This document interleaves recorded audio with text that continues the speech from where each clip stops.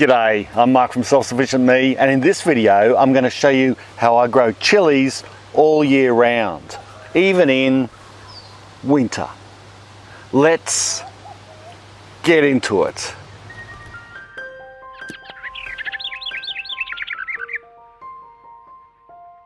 I love eating chilies and I prefer them fresh especially made into a simple condiment that I use to flavour meals all the time. But what happens when winter comes and the plants start to die? I could cut my losses and pull them out and start new chili plants in spring, but that would leave me with no fresh chilies. So instead, I manage our plants throughout our subtropical winter, which can still get pretty cold. And that way we can have our fresh chilies at any time when most people are doing without or using their preserved stock. Now you might think, Mark, it's too easy for you. You live in a warm climate, and that's true. But stick around if you live in a cold climate because I've got some tips for you also on growing chilies through the coldest part of the year. But we'll come back to this plant because I want to give you a demonstration on how I overwinter this thing. Right here is a chili bed with several varieties of chilies that I prepared earlier. This here is a rocoto chili. It's a yellow type. Just pick one off. They're quite hot, but they're very tasty. They look like a mini capsicum. And the reason why I chose this variety is because it actually grows very well through the winter time here. And it's known to be a variety that is more cold tolerant than most others. And my first point is if you are wanting to grow chilies through the coldest time of the year, maybe select varieties that don't mind the cold as much. So in this bed here we've got the rocoto, I'll just put this down for now, but I'm definitely going to eat that a mini Thai. You can see it's looking quite scrawny. This one here is just a really tiny Thai bird's eye. This is a big red, but it's not very big at the moment because of winter. They don't grow as large. And then the rest in here are some cayennes, which are pretty much my lay down favorite chili because they're so easy to grow. And I've got an example of that, there's some seedlings coming up right here at the wrong time of year. And around the other side here, I've got a leftover eggplant. The first thing that I did when I'm refurbishing the bed for winter and when I'm refurbishing chilies is to give them a prune back. It does two things. It gets rid of the extra dead wood, some of the diseased leaves or branches, but it also starts to stimulate growth naturally, like most plants do when they've been cut back or pruned. And this stimulation can activate them even at the wrong time of year and get them starting to grow so that they're well prepared and in a good place when the weather starts to warm up in spring. Once I've got all the plants pruned, I then want to assess the soil and make sure that it's good enough for those plants to continue to grow at the worst time of year and then also start to grow even more as spring comes. And this bed here, I assess the soil as actually being quite depleted and poor. It was very sandy, the organic matter had sort of dissipated, and pretty much it was just the weeds that was in here enjoying the remaining nutrients. So I needed to do two things up the nutrients and get some water holding capacity and organic matter and fill in there so that it wasn't as sandy, it had more nutrient and water holding capacity. And what I did to improve the soil here was get some of our cow manure first. I didn't dig it in because I don't want to disturb the roots of these plants. That is a sure way to just tip them over the edge when they're stressed out already is by digging around the roots. So instead I just top dress with the cow manure, very well rotted cow manure I must say. It's almost looks like black soil itself. It's that old and well rotted down, but still full of good nutrients. And I put a generous amount of that cow manure all around the bed and top that bed up. But the thing is, inspecting the leaves, and although they are stressed and chili plants will naturally get mottled leaves and look sickly, I still reckon they're lacking a little bit more nitrogen. So on top of the cow manure, I've got a pile of really old chicken manure just down there and I decided to sprinkle some of that around the plants as well. And I did this quite targeted. I don't want to overdo it because chicken manure is fairly strong, but this is really old stuff, but still it's strong nutrients wise, and I don't want to overdo the plants, but I do want to give them a good boost. Now people say if you use too much nitrogen on fruiting plants like this, you can get a whole lot of leaves, but not a lot of fruit. I'd say at this time of year, you do want an extra foliage boost. Nitrogen rich fertilizer, such as chicken manure, is going to be perfect to give them a pep up. In the next few weeks or so, we'll just start seeing them look a lot better. Now, if you don't have cow manure or chicken manure, any type of fresh manure, that's okay. You can still do the same thing with bought compost even and commercial fertilizer. Get a good organic type of mix, maybe a blood and bone, and sprinkle that around the plants with a whole heap of good compost and it'll do the same thing. Final thing I did was top the bed with a deep mulch. Chilies aren't a winter plant, as we know. They like it hot. They're suffering, their tootsies are getting very cold at the moment and we need to put a bit of a blanket over them so that it helps. And when the sun hits the bed, we want it to warm up and stay warm as long as possible under there. So a nice thick layer of mulch, it can be wood chip, it can be grass, old grass clippings, can be lucerne. Lucerne adds extra nitrogen, of course, but I use sugarcane mulch. It's easy for us to get and it's seed free and it works a treat.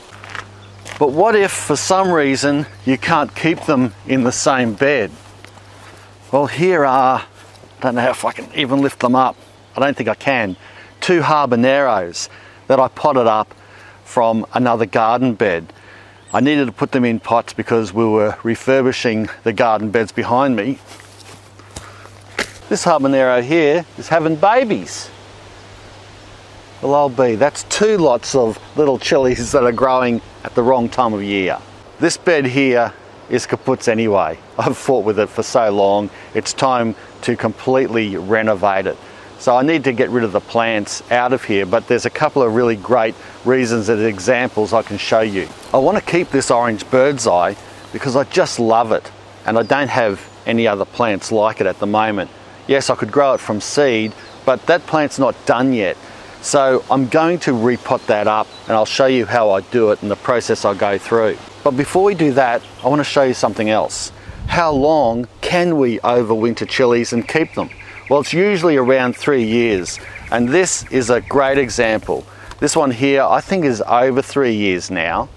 And although it's growing quite well, leaves are looking good. Yes, it's suffering a bit because it's winter, but it's a nice big chili tree. It's a cayenne. However, there's one thing missing, the fruit. Maybe one old red one on the end there, but for the most part, this whole big chili bush doesn't have much fruit left on it. And that's because it's pretty much had it. Three years is usually max.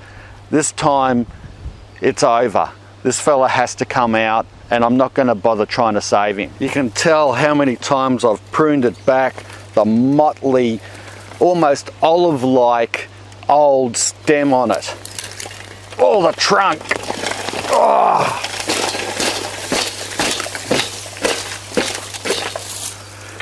Well, buddy, you've done me well for many years. I'll take that, give me it. And uh, I'm afraid it's compost for you. Okay, now I'm prepared, and that's important because you want to limit the stress as much as possible when you're transplanting a chili plant like this. So I've got my pot ready, I've got a table, I've got some premium potting mix, not sponsored or anything. Hey, if you do want to sponsor me, by all means, you know where I am. And I've got some also not sponsored. I could use a seaweed solution, which is just as good for transplant shock, but this is a liquid fish fertilizer. It's made by a guy down south here in Australia.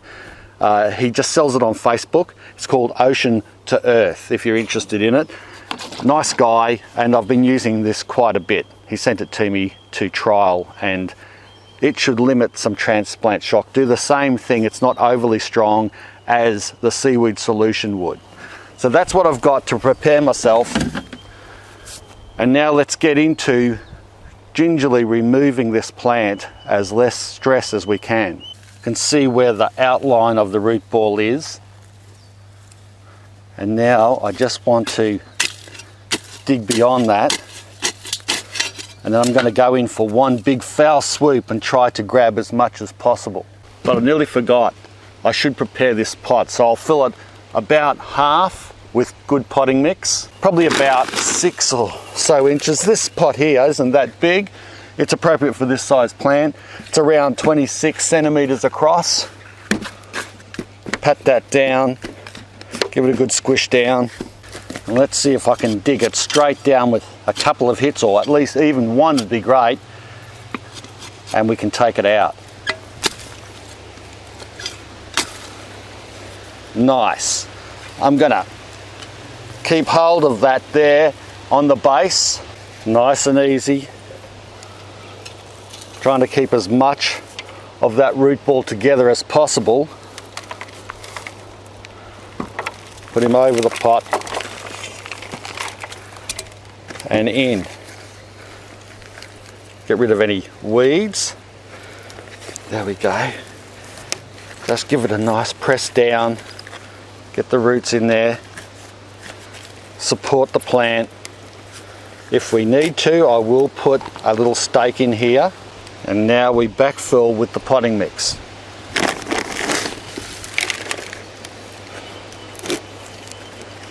Doesn't have to be exactly central. We'll prune this plant back once I've got this done.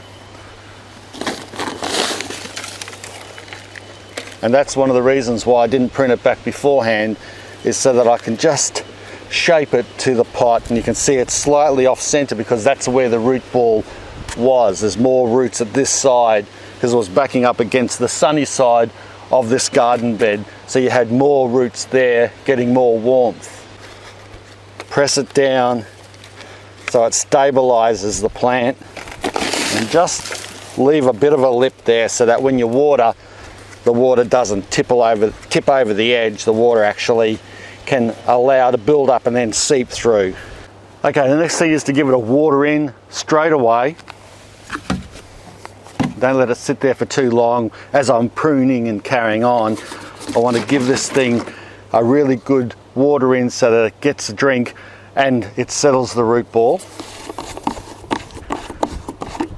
Dash of this stuff, not overdoing it.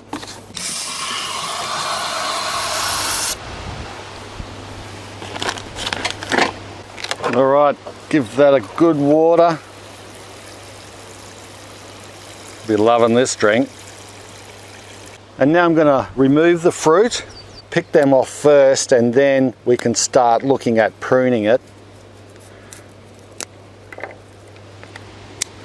And I got a bunch of the dry ones as well because I can use these dried ones to pot up into spring.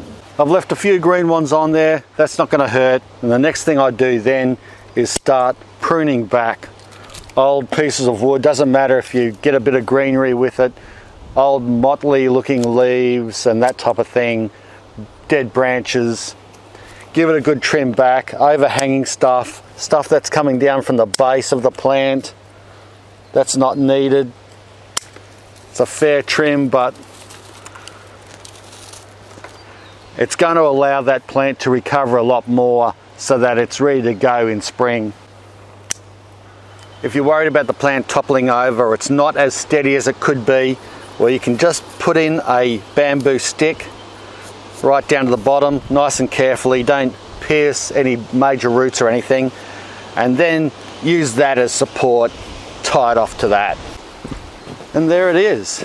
Now this plant can stay in this pot forever and keep growing. You might want to pot it up if it gets really big, but this is a good enough sized pot for it and it'll give you plenty of chilies in the next season and probably even some now through winter. It'll start to rejuvenate and put on some flowers, feed the bees as well. But the other thing you can do is transplant this back into the garden bed once the weather warms up. And that's what you can do in cold climates. Having chilies in containers like this allows you to have them out when the weather's nice and sunny and hot and then put them inside when it's not. And by inside I mean in a sunny location, somewhere where it gets some warmth, a sunny windowsill, or of course a hothouse or greenhouse where it's nice and warm, or at least brings the temperature down a bit. If you're living in a really cold climate, you could consider putting them on a heat mat. They're inexpensive, these plant heat mats. They don't cost a lot to run. They're easy to install and maintain, and you could sit them on that and get them through winter and maybe even produce for you if they're in the right spot and getting enough love. Well, I hope you enjoyed this video. If you did, make sure you give it a red hot thumbs up and subscribe to the channel if you haven't already. Share the videos around because that helps my channel out just about more than anything else. Thanks a lot for watching. Bye for now.